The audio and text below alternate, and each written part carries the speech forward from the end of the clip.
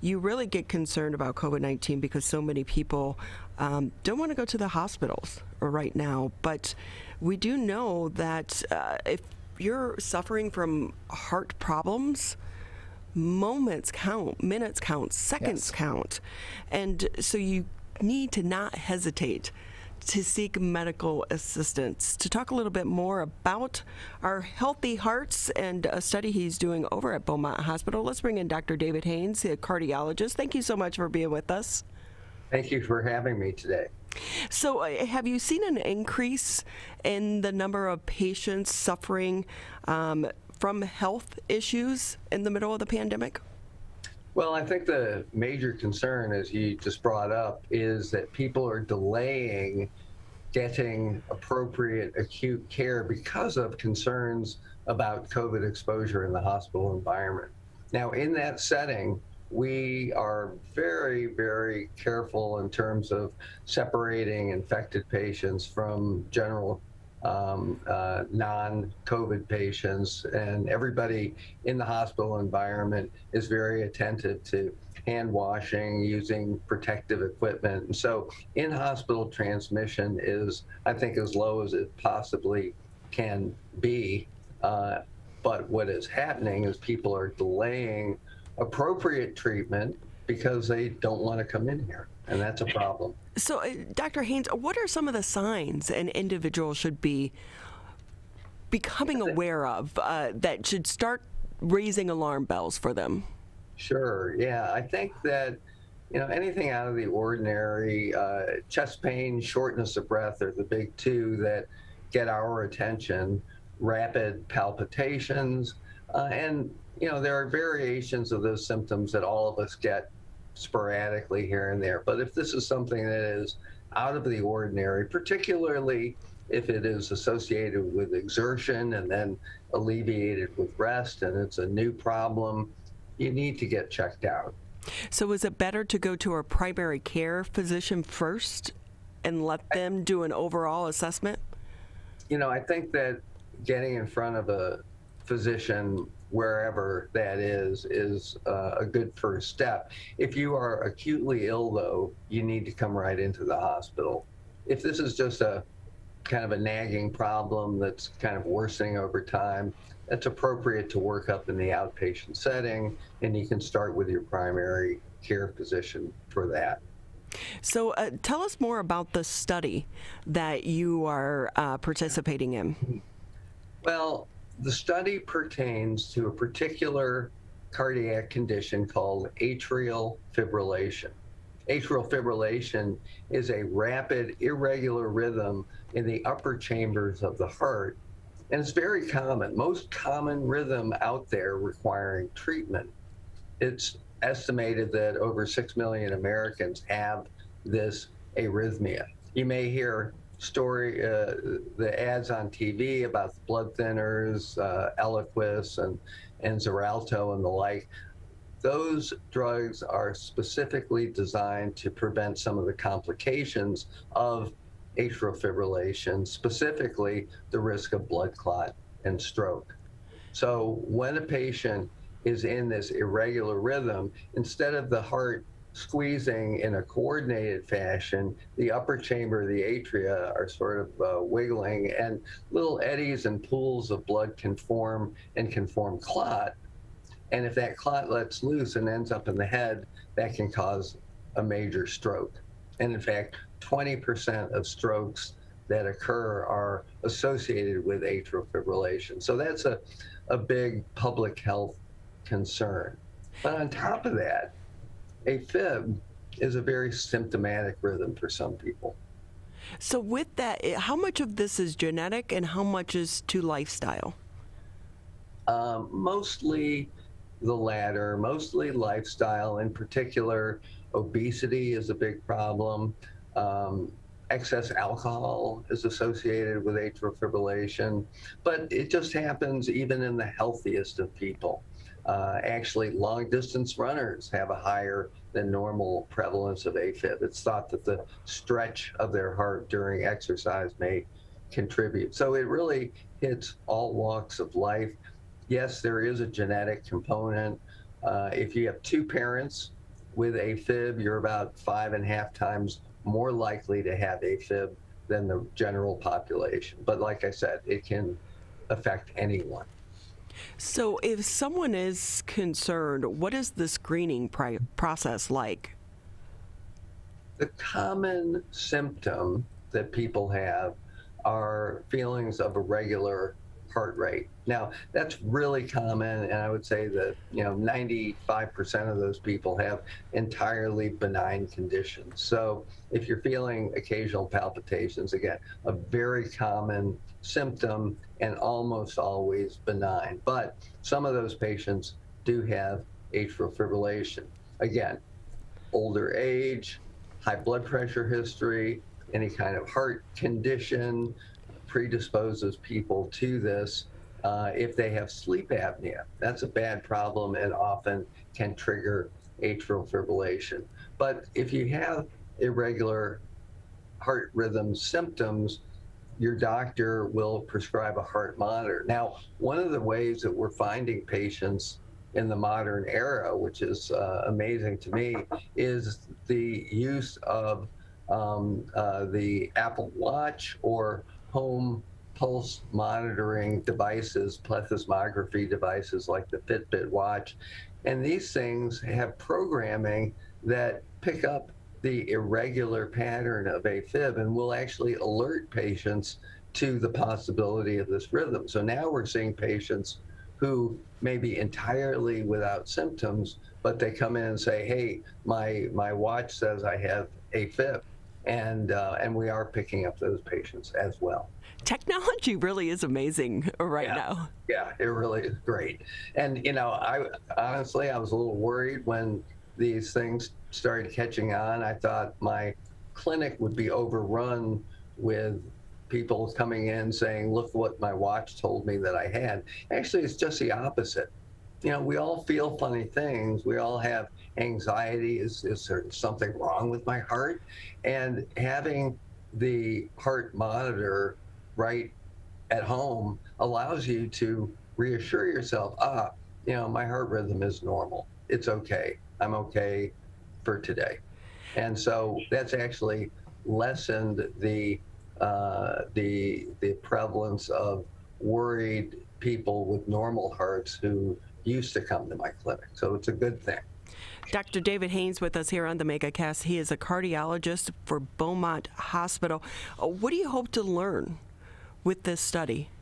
Well, so when you have a patient who has enough AFib that it's impeding their lifestyle, or maybe they're just concerned about the potential long term complications related to AFib. And there are things associated with AFib, including cognitive decline like Alzheimer's, heart failure, even or uh, increased risk of dying. So people who want aggressive treatment often turn to me and my colleagues, and we do a procedure called catheter ablation.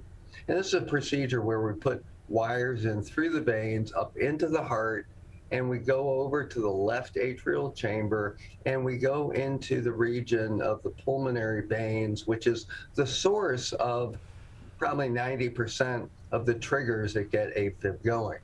And in particular, if you've got an otherwise normal heart and you've got bursts of AFib, and particularly if they're symptomatic, this catheter approach where we kind of burn out the source of the AFib is a great option to offer. We've been doing this for a number of years, but I tell people it's a good procedure, it's not a great procedure. It's good because when it works, you're done with AFib. It's not a great procedure because it doesn't work in everybody. And there are a small but some risks associated with it. This new technology that we're using is called pulsed field ablation. It again uses catheters in the heart, but the way that we affect the tissue uses a different energy form. It uses a very high voltage electrical shock almost, and it actually shocks the tissue and it kills it off, kills off the area that's causing the problem. And compared to the standard approach, which is radiofrequency or cryoablation, a couple of different technologies. This appears to be safer, more effective, and faster. It's a win-win-win. And and of course, we are in the trial to prove these points, but all of the extensive work leading up to this trial has really demonstrated this as being probably a superior technology to what we've been using. So we're excited to be one of the lead centers in the world offering this to our patients. Dr. David Haines with us here on the MegaCast. He's a cardiologist over at Beaumont Hospital. And, uh, Doctor, if I can ask, is there a typical age range uh, that AFib typically um, will impact certain people, or could this be all over? Well, uh, my youngest patient was actually 17 years old. Wow. That's highly unusual. Um, it's more common in older folks, but the demographic of patients that usually come to my clinic are people, you know, in their middle age, in their 50s, maybe 60s, uh, on up into their 80s.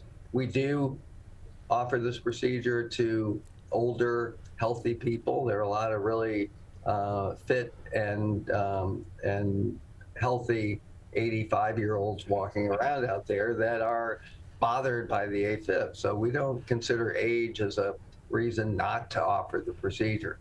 So uh, it does tend to gravitate more to the uh, younger population, though.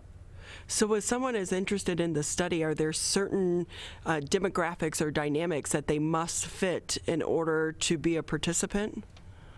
Well, to participate in the trial, this has to be, they cannot have had a failed prior procedure. And they have to go through the first tier of attempted treatment. And we do have medications that have effectiveness against this rhythm. So if you have seen your doctor, you've had documented arrhythmia, you've tried a drug like uh, flecainide or Rythmol or Sotalol, one of these drugs that are meant to suppress the AFib and it didn't work or you didn't tolerate it, then absolutely you are a candidate for this trial. It, this really is fascinating the body and the heart, how it all comes together. Yes. It's such an amazing organ. Um, with the, uh, have you been able to see more patients or fewer patients? What's been the relationship on the heart from COVID 19 standpoint? We actually did a large study, actually the largest study uh, to date, looking at the uh, changes in the electrical properties of the heart in response to uh, both COVID and, and in particular, uh, hydroxychloroquine, azithromycin antibiotic treatment. You may remember the controversy about a year ago when some people were saying this is a great treatment, others were saying uh, it's ineffective. The key thing that bothered us is that it's a potentially dangerous combo in a small subset of patients. So we actually uh, tracked all of the patients coming through our hospital receiving these drugs and looked at their heart rhythms and their EKGs every day. My fellows, the team that did this was fantastic. Um, we were, uh, first of all, not surprised to see significant EKG changes, but we were uh, alle- uh, alleviated that, that there was no high grade rhythm problem associated with the use of these drugs or with COVID. And that's a surprise because COVID is such a devastating disease. Um, but uh, it really hits the lungs really hard. And of course, people with pre existing cardiac conditions, that's a big stress. But the cardiac aspects of the disease seem to be more secondary to the lung aspects of the disease. Now, what we don't know, what we and and we're all concerned about is will be, there be late manifestations of the disease that affect the heart? That is to say, patient had COVID, got sick, got better, went home. Are they going to show up in a year or 10 years with new changes to the heart muscle or to the arteries to the heart that may have been induced with the COVID infection. So we're we're learning new things every single day about about this infection. We're talking with Dr. David Haines with us here on the MegaCast. He's a cardiologist at Beaumont. Uh, doctor, uh, just another minute or two with you here on the show. Before we say goodbye, anything you want to share with the listeners and viewers that maybe we didn't ask you because you are the expert? Well, you know, uh, of course, I spend my, a lot of my time working with heart rhythm patients and and in that regard, atrial fibrillation patients. And everybody wants to know how to treat it, but what we really want to know is how do you prevent it in the first place? It would be best. And you know, there may be a day where I'm out of business because there are no AFib patients out there. That would be the best. So what can you do? Uh, and it gets boring, but it's the usual stuff. The heart healthy lifestyle that's got tremendous effect in terms of preventing uh, a number of heart diseases, including atrial fibrillation. And with the obesity epidemic, that's really sent the AFib numbers through the roof because fat, actually, fat accumulates around the heart and actually has a direct irritating effect on the heart and can cause the arrhythmia. So, keeping your weight in check, trying to get down to ideal body weight, and that helps high blood pressure, which reduces arrhythmia risk and cardiac disease overall, reduces diabetes risk, and that helps across the board. So, you know, normal uh, cardiac recommendations of a heart healthy diet, low carbohydrate, regular aerobic exercise, these are all critically important to arrhythmia prevention and general cardiac health. Is this a condition that someone can live with and manage?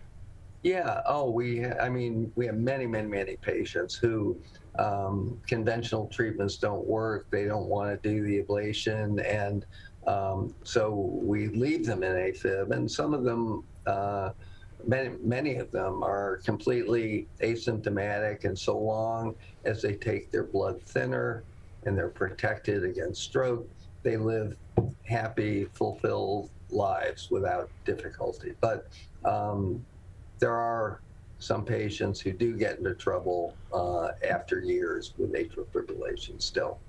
And the really big uh, thing for everyone out there is do not delay getting medical help. Right, absolutely. Dr. Haines, we so appreciate your time. Okay. Well, thank you for having me. I enjoyed talking with you today. Uh, so, uh, when do you expect to have the results of the study? Well, we have just started the pivotal phase. Uh, 400 patients need to be enrolled around the world. I anticipate we'll get through that group in about uh, three or four months. And then we've got a year of follow up before we analyze the data. So we're talking a couple of years before we get the final answer, but we're uh, we're looking forward to that. Well, good luck with the study and thank you again for your time this morning. We appreciate it. Okay, my pleasure.